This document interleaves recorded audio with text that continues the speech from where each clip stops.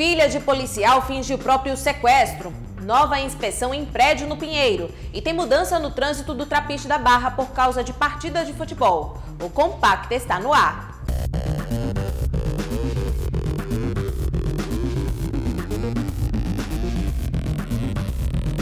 Um falso sequestro foi desvendado pela Divisão Especial de Investigação e Capturas, a DEIC. O caso aconteceu em Maceió na madrugada de hoje. A filha de um policial civil forjou o próprio sequestro. Ela teria bebido com amigos e dirigido embriagada, batendo o carro.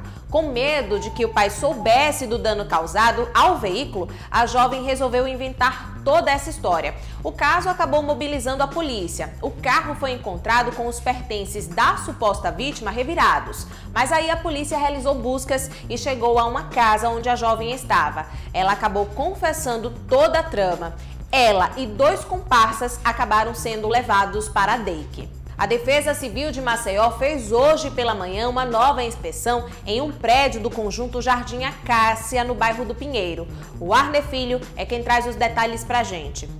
Hoje pela manhã, profissionais da Defesa Civil de Maceió estiveram aqui no Jardim Acácia atendendo a um chamado de moradores do bloco 16A que estiveram aqui com profissionais para fazer uma avaliação do valor do imóvel. E ao entrar nas unidades, eles perceberam que as rachaduras tinham aumentado muito. Preocupados, eles acionaram o órgão competente e nós conversamos com um desses moradores que nos relatou o que foi dito pela Defesa Civil.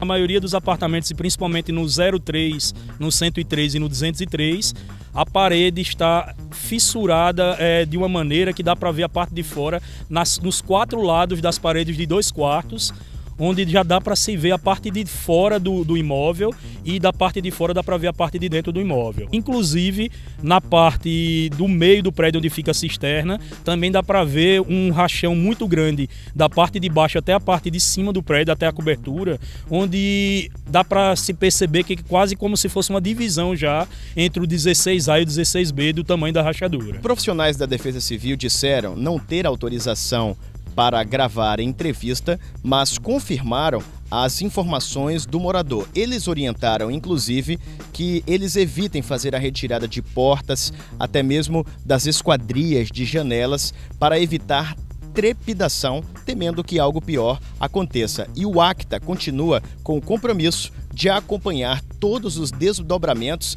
dessa situação relacionada ao Pinheiro e aos bairros da região. E hoje tem mudança no trânsito, mais uma vez na região do Estádio Repelé, lá no bairro Trapiche da Barra, por causa do jogo entre CSA e CSE. Dois trechos vão ser interditados pelos agentes da SMTT a partir das 5 da tarde o cruzamento da Avenida Siqueira Campos com a Rua Cabo Reis e o cruzamento da Avenida Siqueira Campos com a Rua Lagoa Hotel. A interdição ocorre de 5 horas da tarde até as 11 horas da noite, uma hora após o término do jogo, que começa às 8 horas. Agentes da SMTT vão estar no local para orientar os motoristas.